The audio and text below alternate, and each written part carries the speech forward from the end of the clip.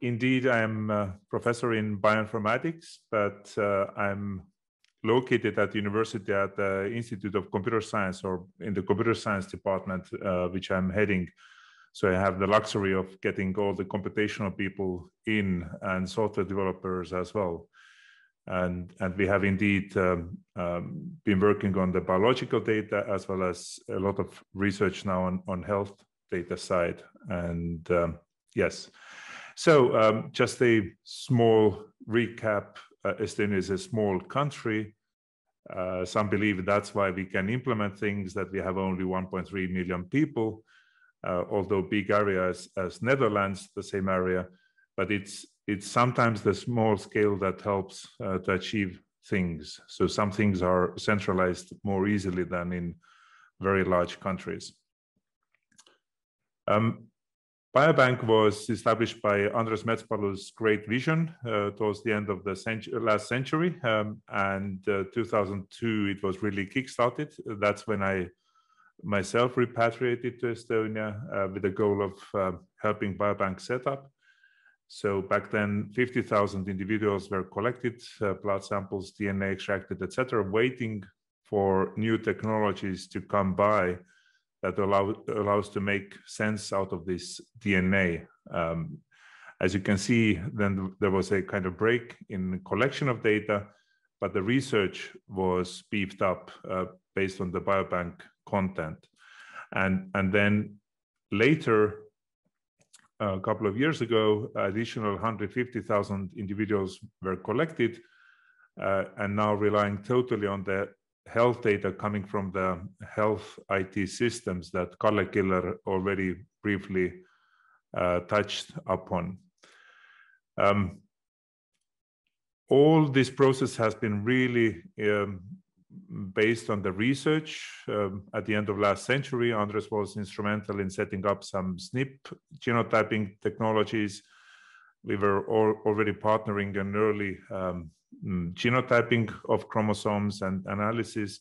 So that has helped to lay the ground uh, for this ge genomic pro, uh, project, really. And now we are at the stage where we uh, really ask how to deliver that to the healthcare system. So in Estonia, as many Nordic countries and other places, we have IDs of individuals, numeric ID, but also the electronic identity uh, that again Kalle Killar touched upon so that we can safely, um, securely interact with the information systems and we can identify individuals, um, give signatures, um, at consents, etc. So this indeed is one of the cornerstones. And, and then the, as the databases are linked, it makes it easier to provide services nationwide because you can plug in the new service and it will be automatically, well, of course, not automatically, but relatively easily linked to the other parties. If you provide good service, uh, then the other partners uh, or um, can actually tap into that service because you can query by the ID, you can query by the same technology, so it's really just agreeing on the format that flows in there, uh, the content that flows in there, and then you can uh, add these new services. That's why we believe that we can really uh, develop the system that brings the service to the clinicians and uh, patients uh, themselves. Um, and now, uh, summarizing what I have just said is that over the nearly 20 years, the biobank has been set up for their primarily research purposes. So collecting DNA samples, health data for um, all the research going on. And now we are in the stage asking how to deliver that to the uh, medical service. And the process uh, that we envision is that we export the relevant data to the medical side of the uh, databases, so to speak, from the research to the medical service use. Uh, there are lots of questions how uh, whether the data was obtained by the relevant technologies, uh, the quality management, all of these. But this turns the data for the medical use um, So this is this is crucial step, and that would happen by the consent of the individual who originally consented for research, and now they would need to uh, show the willingness of taking that research data to the medical use. But of course, the other regulations will also be um, affecting that, whether all the research was done properly at the same quality level. So once the data is in this medical use uh, DNA storage, uh, then we envision that when when you want to calculate something based on this uh, genetic data, risk scores, pharmacogenetic, that we provide the safe haven uh, for this compute uh, storage, well, compute area, where validated medical devices or software pieces uh, can be installed. And this compute environment would request the necessary input data from the uh, genetic database, possibly from the health data system, bring all this data available to the medical device that then can calculate whatever is needed. And then the uh, lab uh, running this compute environment would uh, send it back to the health information system as reports, machine readable and human readable re reports.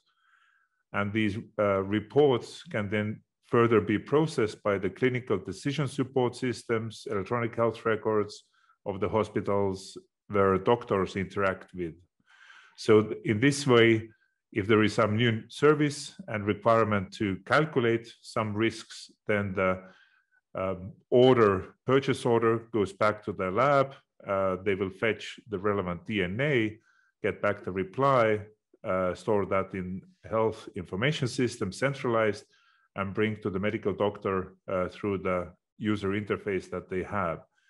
And most of the arrows in here would then work uh, across this uh, X-road interface.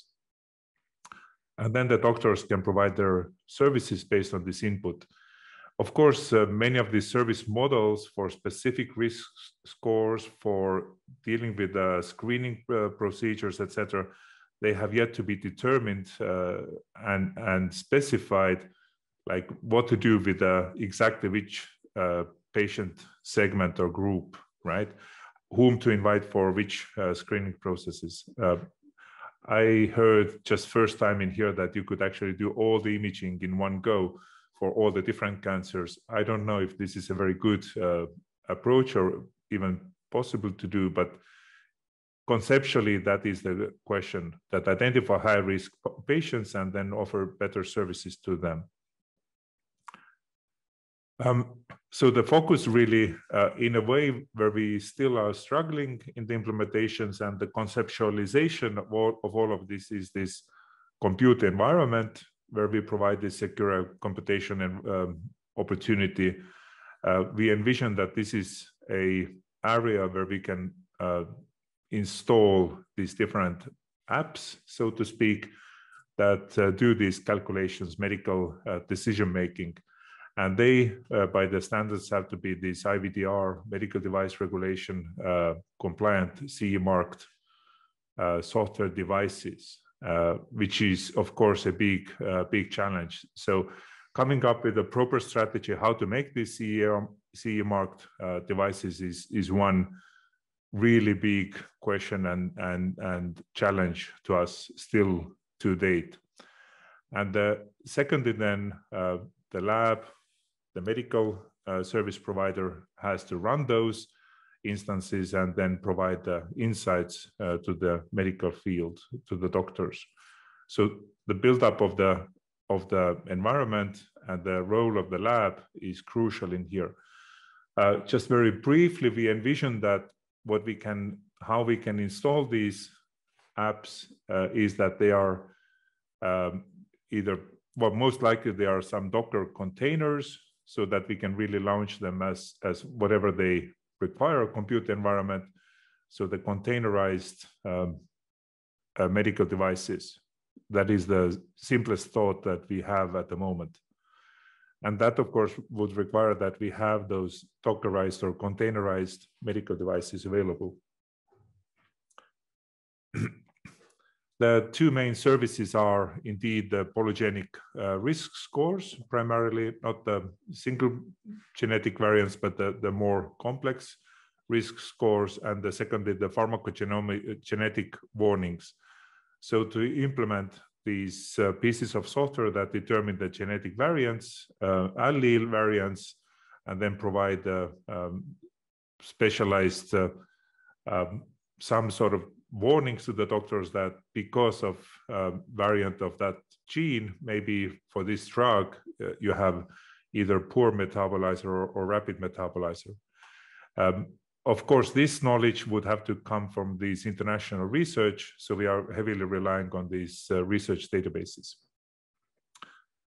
Polygenic risk scores, I believe that um, um, most of the uh, listeners in here know, it's just the assumption that your genetic composition across many, many different uh, sites in the genome uh, may you have may have more protective or more um, disease susceptible variants that across these different sites you kind of get the distributions usually kind of normal distribution like distributions but you can identify these high risk individuals and you can really then assess how these high risk individuals how much higher the risk is and come up with the strategies how to how to deal with these high risk individuals. Um, but this is the exactly the question how the medical system defines those processes when they can intervene when they can better uh, scrutinize those individuals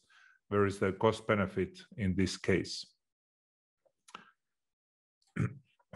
medical doctors are really eager uh, and waiting for some pharmacogenetic um, panels because now they can order it one gene based panel or, or drug specific panels. They are quite costly.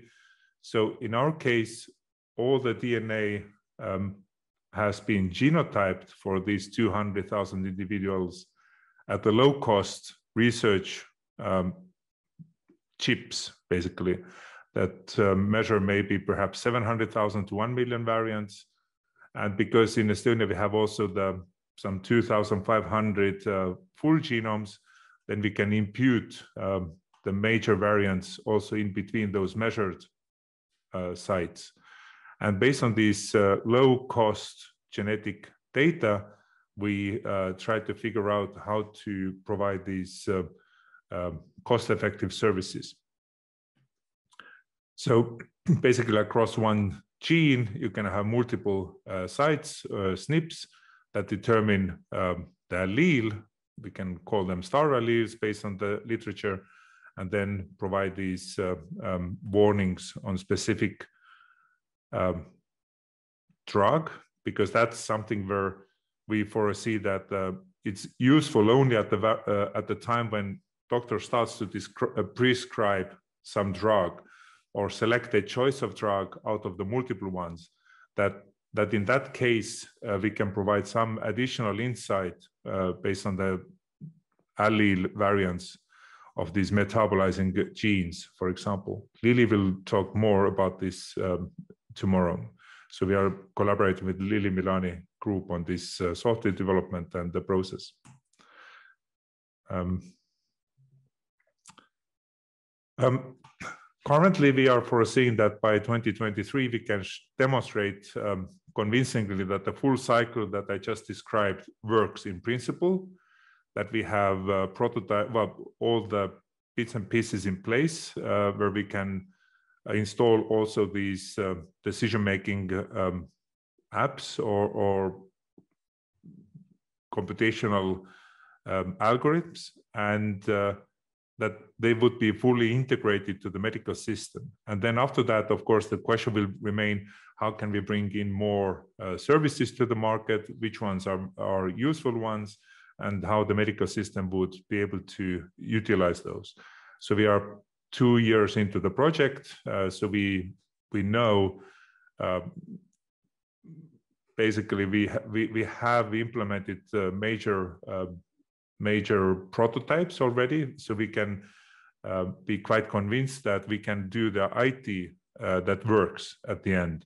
But the the the legal side, uh, the the services side, the cost uh, of the future services. These have to be determined. Plus, um, the question is still there a little bit about the CE marking marked uh, medical devices, the software pieces that are medical devices. So these are the last uh, small hurdles in in our in our way. Um, so just uh, to recap these challenges is that what we are really trying to do is that we take these low cost array-based technologies, low cost um, blood sample collection, DNA extraction, um, research data. Um, in the big picture, I think it, the cost is about 56 euros per individual. But then the question is how to make all this um, medical value out of that. And, and we do need these electronic decision support systems that, that work as software as medical devices. So there have to be some process for manufacturing such pieces of software properly. And then the medical system uh, readiness, of course, is also a, a good question, but I know that uh, they are really eager for the pharmacogenetic services. And in the cases of risks, they ask um, who would pay for modified uh, screening programs, etc.